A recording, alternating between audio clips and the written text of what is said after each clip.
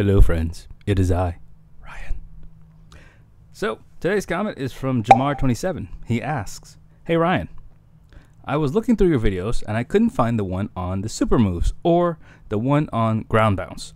So, I think the, the one on super moves is a very old one for Shelly, particularly. I never um, got the super moves with uh, Ray McDougal. Such a funny name still. So uh, I'm gonna half-ass this video because I have this done already, and I didn't want to go through the trouble of figuring it out again, or at least putting a lot of brain power into it. So here's what we're gonna do. I'm gonna um, showcase my uh, Dragon Ball FighterZ style Frieza because he has a down bounce.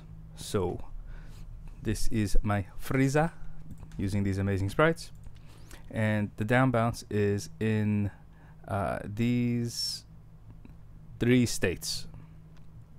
So I have the vanish,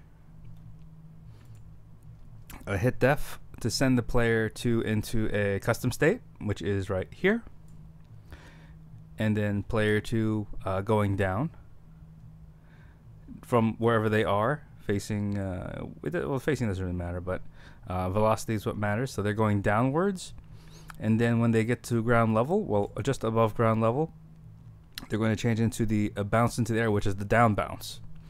So this is going to set their position to zero to lock them in there for like a split second, and then I'm going to bounce them back up into the air, and uh, have gravity pull them back down. So uh, they you know they go up and down slowly, and then uh, self state to put them back into their own state. So essentially, your down bounce is a custom state.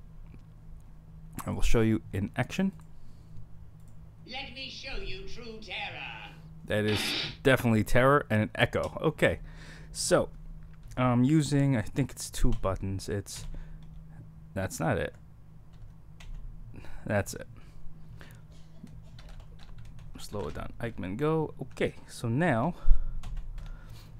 first day was the vanish. After the vanish, uh, he's going to attack. Boom, hit him with the hit def. Player 2 is now in a custom state as you can see from the yellow uh, colors over here. They're in the custom state 801 801 is going to send them back to the ground. And as he goes to the ground about here he's gonna go to state 802 and this it, it like it sets him on the floor but it fakes the hitting the ground stuff and 802 is gonna bounce him back into the air and then have gravity take effect and plop. Now he's back in his own state. He's in the self state now. So now player can uh, recover.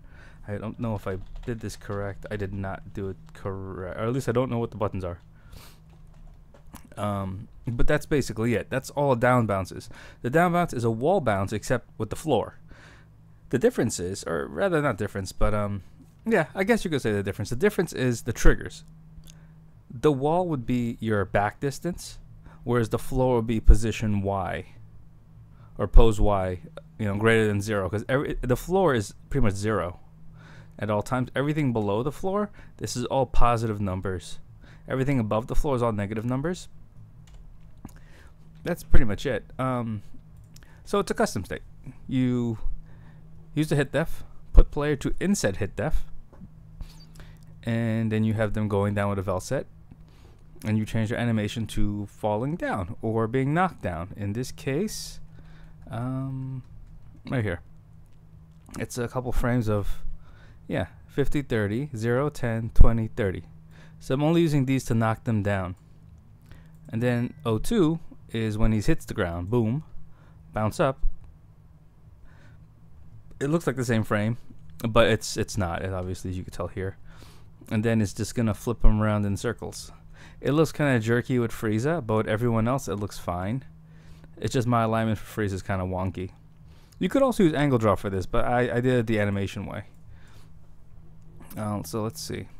So this is the animation for player 2 getting hit from the down bounce, in case you want to copy it for reference. And this is animation uh, after they hit the floor. And now, after they bounce off the floor, you have to give them a blue hitbox. This allows you to follow up with other attacks and stuff, which is the goal of a down bounce is to continue the combo. I did a basic square hitbox, nothing crazy. And that's pretty much it. You have your attack and your effects and whatever else you have. Your hit def will have a a, cust- uh, a P2 state number which will put player 2 into a custom state. And then you have your custom state for player 2 which is to go down to the ground. And uh, I should probably explain this a little bit. So position Y greater than 25. If you have position Y at 0, it's going to look really funky but having it like lower than the floor level, it makes it so when player two falls from the sky, or even if they're standing, it makes it look like they're hit uh, upside the head downwards, and it makes it look better. If you put it at zero, it looks kind of funky. At least, at least in my eyes. Let's see if I can get it to demonstrate here. Yeah. Yeah. See, he just kind of. He's just on the ground already. He's just already bouncing off. So it does it skips the whole uh going down part. So I like 25. And then after they hit the ground, they're gonna change states to this other uh, custom state, which is uh, bouncing up into the air, and then falling back down. And then when they land again, self state. This is uh, we'll put them into a, a bounce, a down bounce state. Not like, you know, a, a, a bounce to pop up to attack, but like the regular Mugen default down bounce, which you can't follow up with. That's it. It's it's as simple as that, really. Um, if you pause the video, you can see pretty much um, what the codes entail, and you can copy and paste it to make sure you have the same, and it works the same way. Um, hmm, that that's it. As a short video, huh? I'm gonna be working on more Super Nintendo fighting games. I'm trying to get Super Butoden 2, but it's actually a lot harder than I remember. So that's that's gonna come out sooner or later, and uh, I will get back into more other tutorials. And uh, I want to play other fighting games too, stuff I haven't played in years that were enjoyable. Um, I have some people who donated to me, or some people who bought me some coffee on uh, Buy Me a Coffee. Uh, special thanks to those two. I can't remember your name right now, but you your generosity is much appreciated. I highly appreciate that. If anyone else wants to, you know, buy me a coffee, the link is in the description. You know, please feel free to uh, do that. I'm thinking of opening my uh, Patreon again. Um, I don't know why, but you know, I never know. In case somebody wants to Patreon me, I guess. I don't know how to word that sentence. Well, thanks for watching. See y'all next time. Bye bye.